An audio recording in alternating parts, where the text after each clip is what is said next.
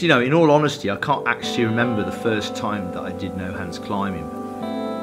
But I think the first time I started using less limbs was when I hurt my hand and I was climbing with one hand. You know, I, I did um, Kirkus Corner, which is not exactly a slab, an asp. It's really that I climbed everything in the peak and I was looking for new ways of enjoying myself when I went out.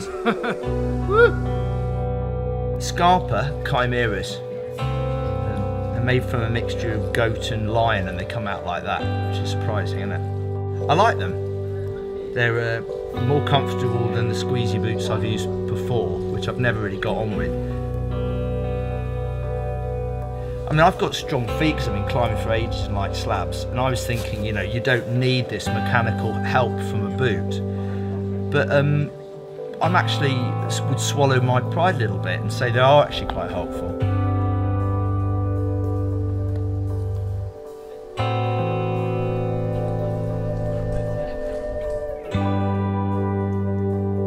These worked pretty well straight out of the box, so I was quite surprised.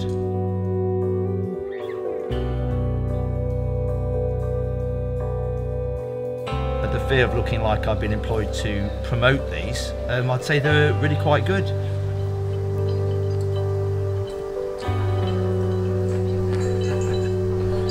Okay.